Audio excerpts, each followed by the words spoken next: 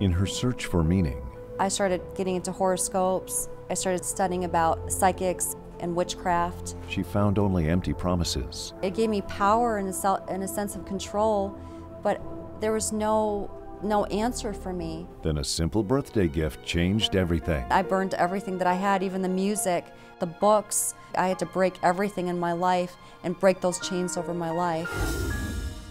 On the 700 Club, Wednesday,